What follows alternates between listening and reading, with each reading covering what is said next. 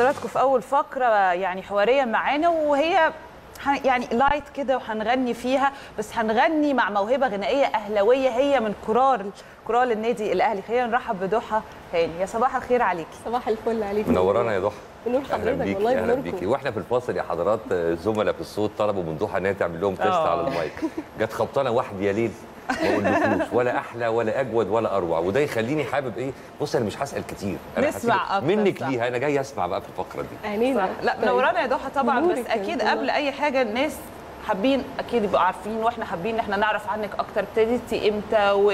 وعرفتي إزاي أصلا إن صوتك حلو؟ يعني أنا فاكرة وإحنا صغيرين كانوا بيقولوا لنا غنوا عشان لو في حد عنده مننا موهبة أيام المدرسة يعني. بس أيوة ما صح. حصلش بقى نصيب.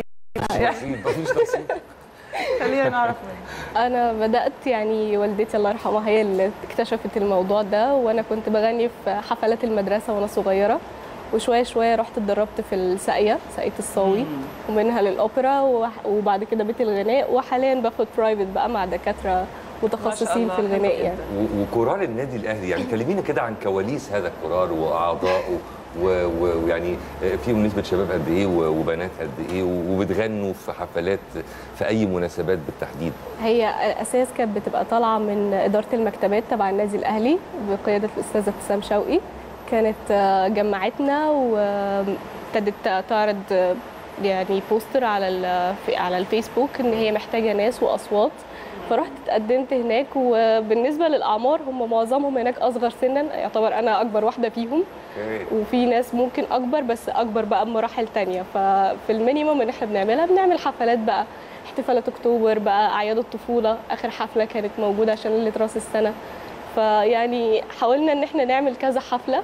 طبعا فترة الكورونا وقفتنا آه طبعاً، فترة. طبعاً. بس الحمد لله قدرنا نرجع تاني والموضوع بصراحة مبهج جدا. بتبقى الكورال بتبقى بنتجمع كل أسبوع نتدرب على أغاني بيجي لنا موسيقيين وبنعمل جنرال وبنطلع بالحفلة بقى سواء في الجزيرة أو في مدينة نصر واصلا أنت بتدرسي أو بتشتغلي بجانب الغنى أو؟ آه آه أنا الغنى بالنسبة لي موهبة بس أنا حابة إن أنا يعني أتقنها.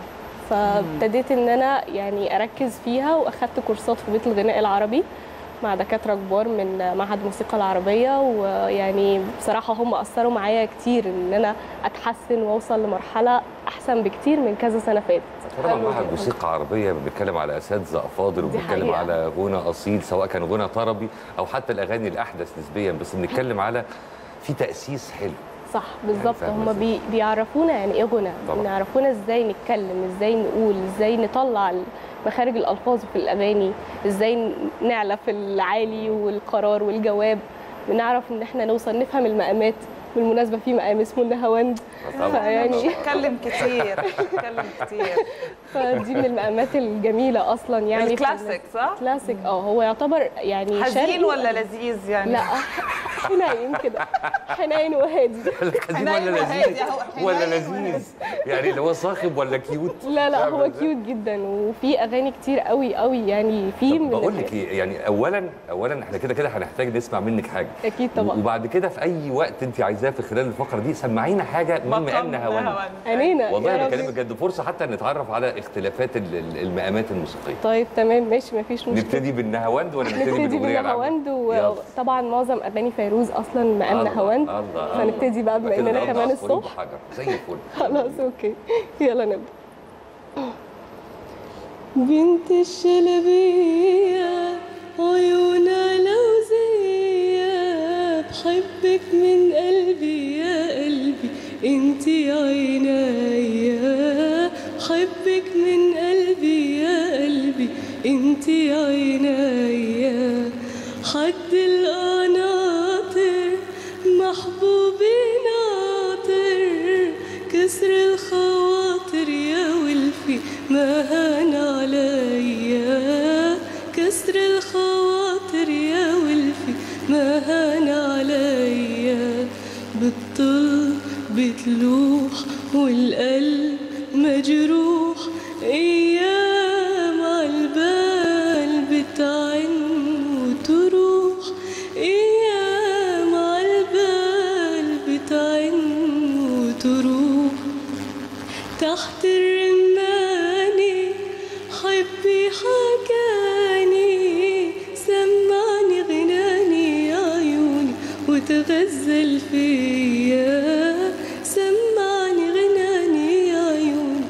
وتغزل فيا.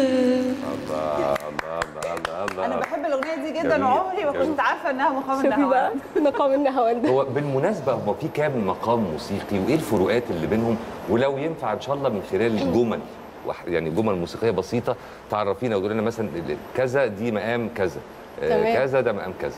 okay وإحنا يعني المقامات- علمينا ال- ال basics بتاعت الموسيقى. okay المقامات الأصلية عندنا في الغنى هي ثمان مقامات. ثمان مقامات في منهم الغربي والشرقي بس الأكتر إحنا بنتعامل بما إننا في مصر بالشرقي.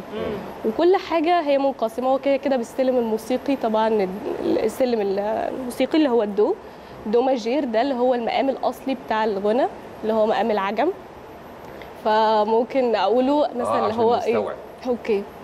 اللي هو بيقول دو ري مي فا صول لا سي دو دو سي لا صول فا مي ري دو حلو. ده السلم الموسيقي الرئيسي اللي إحنا بنشتغل عليه في كل المقامات.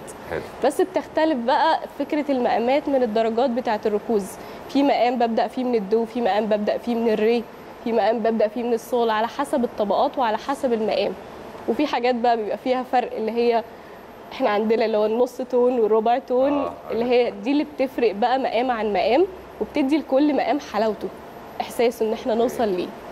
هو ممكن يا ضحى بجد والله يعني هل ممكن حد صوته مش حلو قوي بالتدريب يبقى يبقى صوته حلو؟ مش يبقى صوته حلو بس يعرف يأدي صح. يبقى هي مؤدي مش يعني. ما مؤدي ويعرف يعني. الطرب هي. بتبقى يعني الأساس هي ممكن يعرف يوصل بس إحنا خلينا صراحة إحنا كده كده في إحنا في وقت دلوقتي في ناس كتير قوي طلعوا مؤديين أكتر منهم مغنيين صح بس صح. بيعرفوا يا لو ريتها قدم وقفت على كده يا يعني خلينا نقول إن. هي وقفت على آه، كده.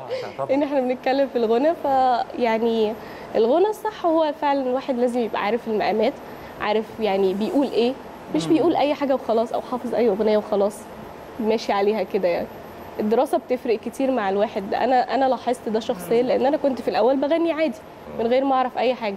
فغني بقى وأجود مع نفسي طبعا. فلا يعني في حاجات عرفتها لأ ما ينفعش. لازم تحكم نفسك عشان ما تخرجش بره المقام. أغنية بمقام معين ما ينفعش أخرج عنه حلو بس. جدا. طب أنا عايزة أسألك حاجة. يعني دايما الناس ال- اللي هم المطربين اللي هم طرب الحقيقي.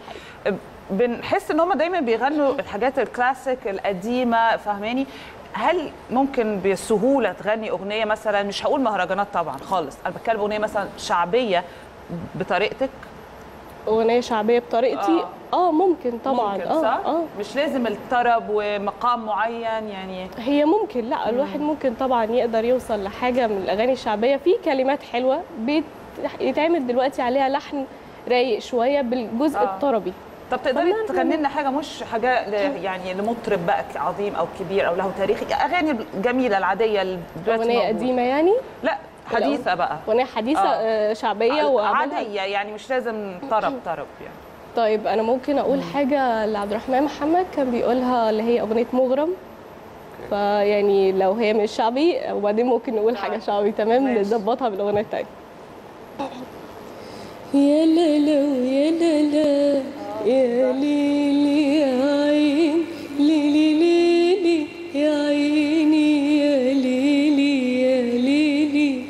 مغرم مغرم أنا بيك على طول.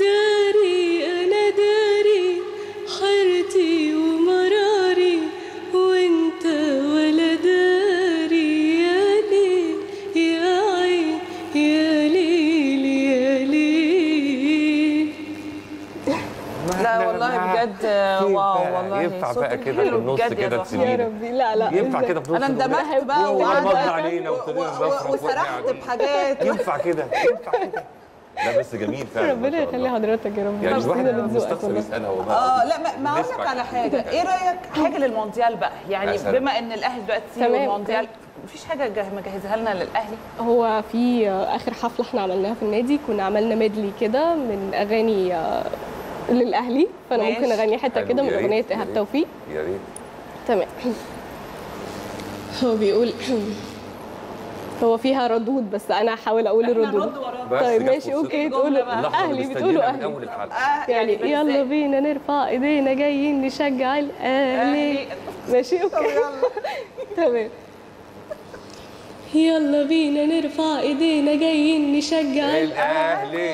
فانيلا حمرا بنقولها كلمة ده نادي القرن الأهلي وصل العالمية أهلي نادي مية مية أهلي. ده كلامه شوية أهلي. الأهلي ده فوق الجميع حاجة مش معقولة أهلي. قدمت بطولة أهلي. حاجة مش بسهولة وكله بشهادة الجميع شجع شجع. قول من القلب الأهلي مبدع شوف اللعب كله هيتقطع. ومفيش أيوة، صعب. أيوة. الأهلي ده نادي البطولات.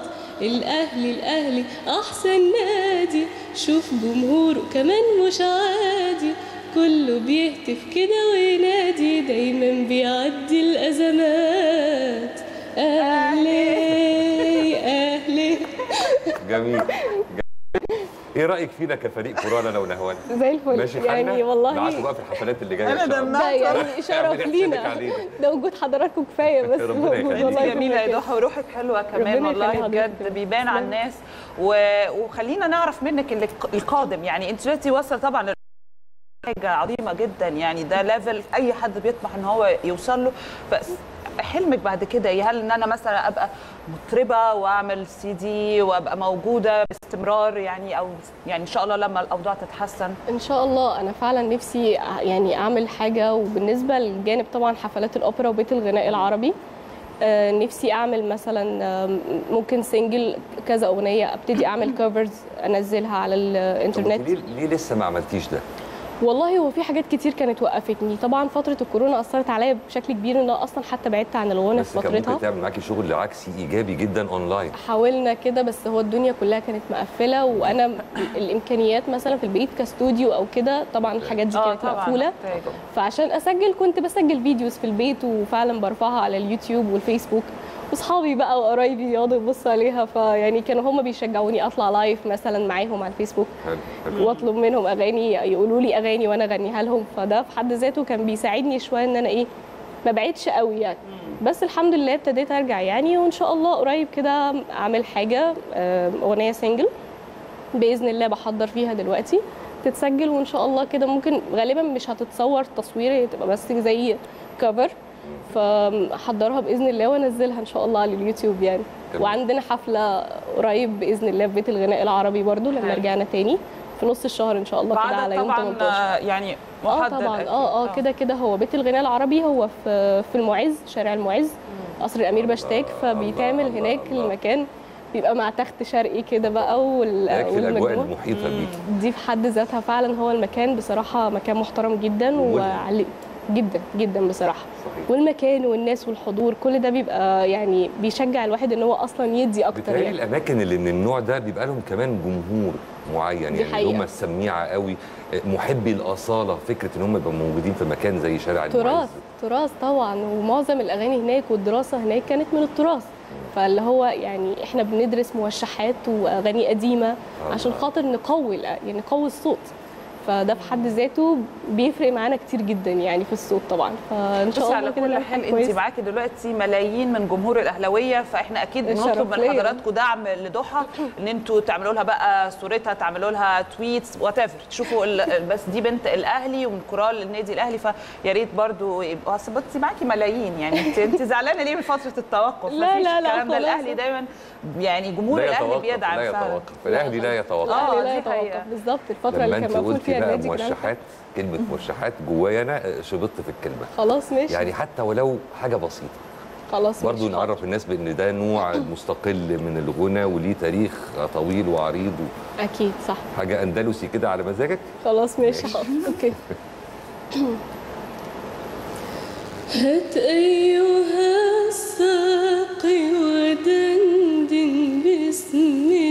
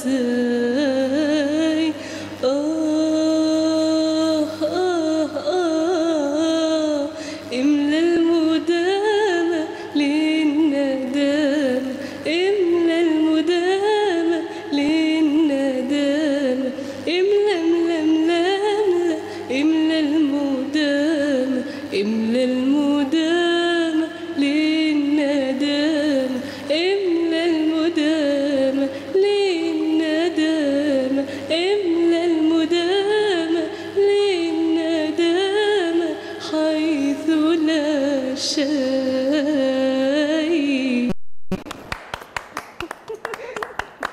دي من الموشحات اللي إحنا كنا بندرسها وعملنا بيها حفلة كمان وكنا بقى مجموعة وكورال بنغنيها. فطبعا كانت إن شاء الله حفلة في إن شاء أقرب الله. نورتينا يا ضحى وسعدنا بوجودك جدا. والله. أنا كنت اسعد بيكم أغني جداً. والله بس ما فيش بقى وقت. يلا معلش. يلا غني حاجة. نورتينا يا ضحى وإن شاء الله نقابلك مرة تانية إن هنا شاء الله وتكوني كمان. تقدمتي جدا في المجال اللي أنت بتحبيه إن شاء الله رب العالمين. إيش فاصل سريع. حبيبتي نورتينا.